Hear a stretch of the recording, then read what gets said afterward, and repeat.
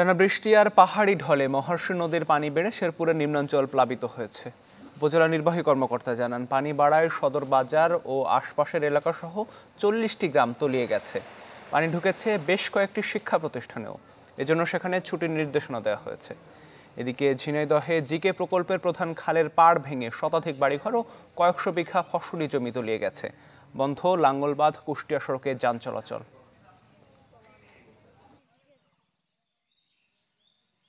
মাছের ঘের সহ আরও অনেক ক্ষয়ক্ষতি হয়। পুকুর তলায় গেছে গা। তারপরে অনেকের বাড়িতে আমাদের চুলা চলে না এখনও খাওয়া দাওয়ার ব্যবস্থা নাই। এই জায়গাটা ভাঙার পরে আমাদের প্রায় একাশো বিঘে মাঠে জমি ফসল আদি একদম সোনার ফসল শেষ হয়ে গেছে। এবং দুই একশো বাড়ি ঘর পানি উঠিয়ে তাদের রান্না বান্না একদম খাওয়া দাওয়া বন্ধ।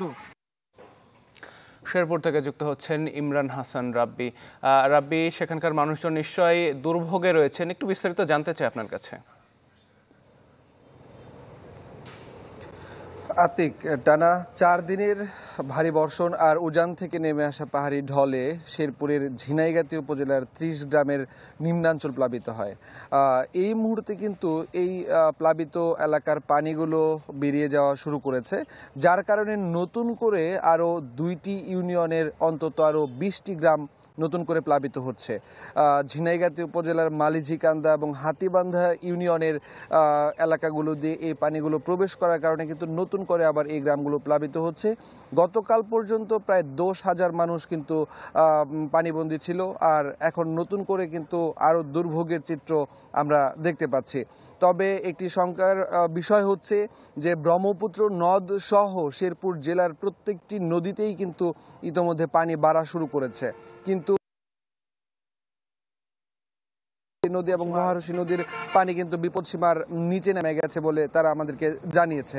এবং এই বর্ষণ যদি অব্যাহত থাকে, তাহলে শেরপুর জেলার অন্যান্য যে উপজেলাগুলো রয়েছে, সেই উপজেলাগুলোর অন্যান্য নদীগুলোতেও আবার পানি বাড়বে এবং সেই সাথে কিন্তু নতুন করে আবার গ্রামগুলো প্লাবিত হওয়ার সম্ভাবনা রয়েছে।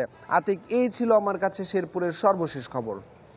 জি, রাব্বি, ধন্যবাদ আমাদের সাথে যুক্ত হওয়ার জন্য। শেরপুর থেকে জানাচ্ছিলেন ইমরান হাসান। রাব্বি, এবার আমরা একটু ঝিনাইদহের চিত্রটা দেখে আসতে চাই। আমাদের সাথে সাদ্দাম হোসেন যুক্ত হচ্ছেন। সাদ্দাম।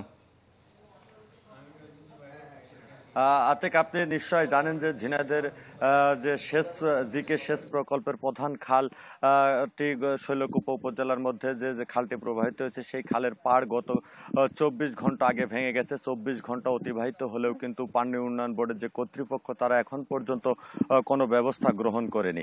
তো আমি স্থানীয়দের সাথে কথা বলেছি, তারা জানিয়েছে যে, এই খালটি ভেঙে এখানকার প্রায় দুই একশো বাড়িঘর প্লাবিত হয়েছে এবং প্রায় কয়েকশো একর জমির ফসল তলিয়ে গিয়েছে। আমি যদি একটু দেখানোর চেষ্টা করি যে এই যে সড়কটি আপনি দেখতে পাচ্ছেন, এই এই সড়কটি কিন্তু লাঙ্গলবাদ টু কুষ্টিয়া সড়ক। এই সড়কটি এখন যান চলাচল বন্ধ রয়েছে।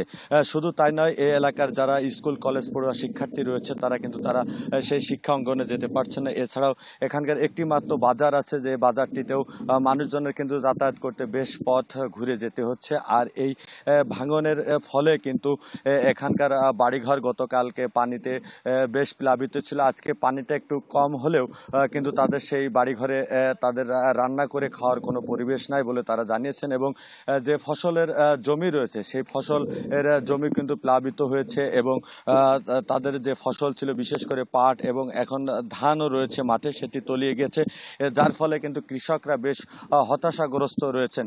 তো আমি পানি উন্নয়ন বোর্ডের কর্তৃপক্ষের সাথে কথা বলেছি।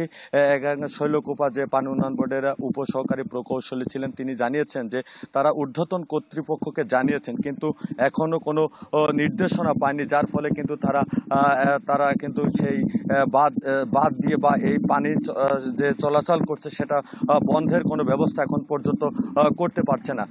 তো আতিক আসলে এই পানি চলাচল বন্ধ যদি শেষ না করা হয়, তাহলে কিন্তু এই ফসল আরও ক্ষতিগ্রস্ত এবং এখানকার যে বসত বাড়ি রয়েছে, তারাও কিন্তু ক্ষতিগ্রস্ত হবে বলে ধারণা করা হচ্ছে। তো এই ছিল ঝিনাইদের শেষ খাল ভাঙনের সর্বশেষ পরিস্থিতি। আতিক। জি, অনেক ধন্যবাদ সাদ্দাম আমাদের সাথে যুক্ত হবার জন্য। ঝিনাইদহ থেকে জানাচ্ছিলেন সাদ্দাম হোসেন।